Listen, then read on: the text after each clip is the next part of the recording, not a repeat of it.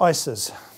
I don't normally spend a great deal of time talking about them because they're relatively small amounts of money, but there are some welcome changes, I think. You can now inherit an ISA. Um, well, at least a spouse can inherit an ISA, which means that if you've both built up a load of these tax privileges, privileged investments, the privileges are not lost on the death of a spouse. The ISAs can continue in the name of the um, survivor with the tax privileges. Tax privileges being in effect that you don't pay tax on the income. So it's a welcome change. It's not major, but it's a welcome change. Um, the value of an ISA has now gone up to, on an annual basis, to 15,240, uh, which is great. The, the individual limits within the ISAs for shares and cash were abolished last year. No change with that. Um, that's good. Um, but what they are going to allow is for you to dip into your ISA as long as you put the money back.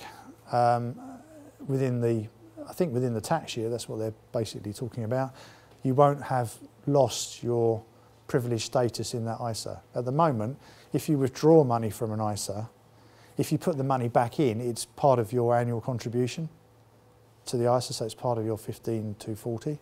But if you put the money back into an ISA because you had to borrow it temporarily, it won't be part of your annual limit. So you can still put your annual limit into a new ISA. So that's probably welcome uh, as people need money. But we've got this new help to buy ISA. I don't know why they have to call it a help to buy ISA, but that's what they've done.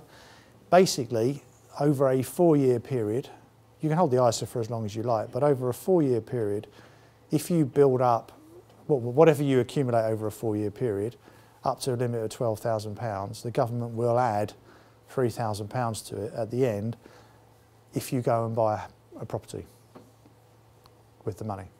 You have to be a first time buyer.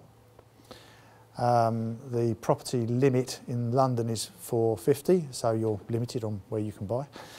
Um, outside, I don't know where the limit is or where the geographical boundary is, but outside London it's 250. And it's basically just a first time buyer subsidy. Um, the idea being presumably that it, um, well, it's not even, it's, it's not even a 5% deposit, is it, at that level? It's a fairly, fairly meagre deposit, but um, so presumably there'll be, there'll be some other schemes to get the mortgage in place so the banks don't have to take any risk. And we take the risk as taxpayers, but that's me. Um, but um, I suppose it's welcome.